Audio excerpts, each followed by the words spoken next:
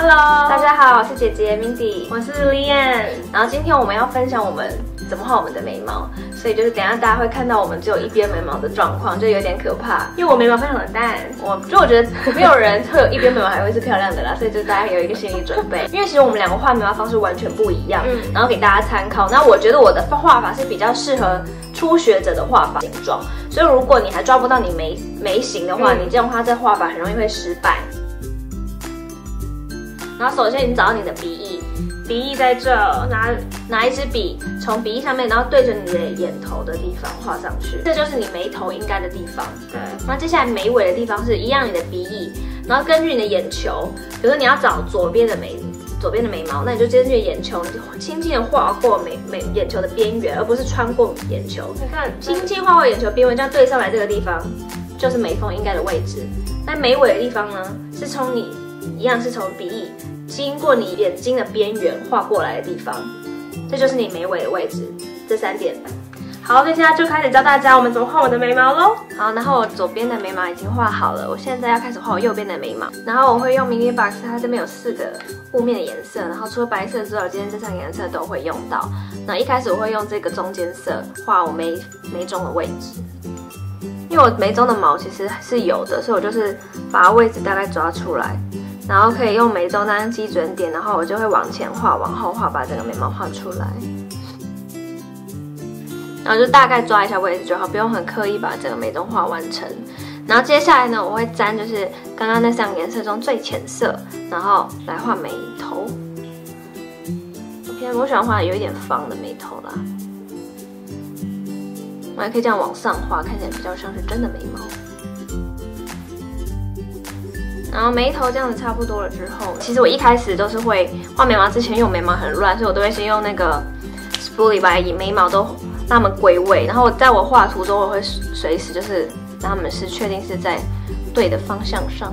一下之后呢，接下来的话，我就会拿眉笔，然后建议用的眉笔是 RMK 的眉笔。我习惯先从眉尾的下方开始画，因为像我喜欢把弧度是拉在下方，就先是往下画。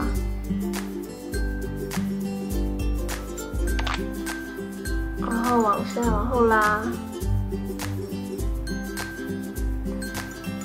下面画好之后，再从上面，上面就从眉峰的位置，然后往下让它两个交汇在一起就可以。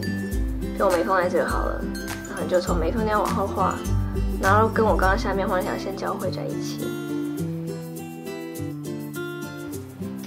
然后大概抓出一个眉尾之后，我就会再用眉粉，然后这时候就用最深色。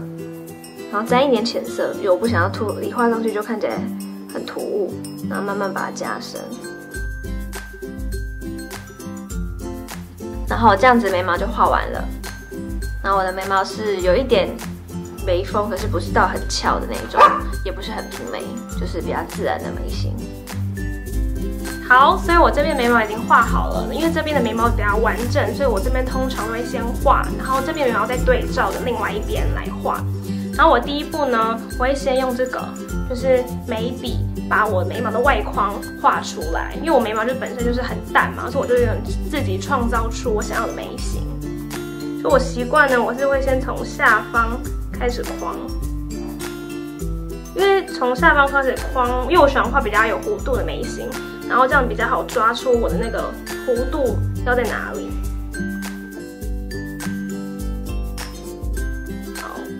再是再把上面框起来，这就是淡淡的就好了，不要太深。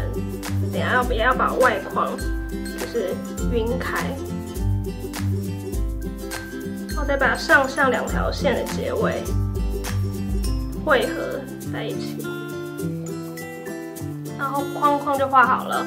然后这时候呢，我会再用这个 Kate 的。三色眉粉，就我通常其实只用到下面两个比较深的颜色，那我会先用下面最深的颜色画眉尾的部分，然后其实就把中间的框框填满，然后同时也记得要把旁边刚刚画那外框晕开，要不然会很不自然。然后中间那一段呢，我会再用就是这两个把这两个深色混在一起画眉中的地方。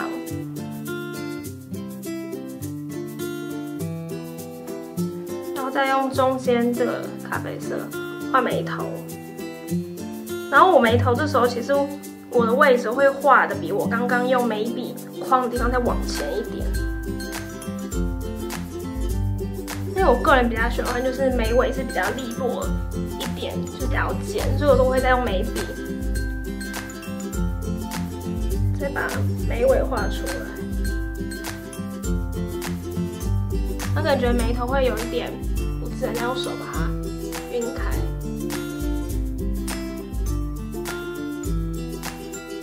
好那这样子我就两边就画好了。大家其实都可以试试看我们两种不同画法，看你眉形是怎么样，哪种比较适合自己。下个影片见哦，拜拜。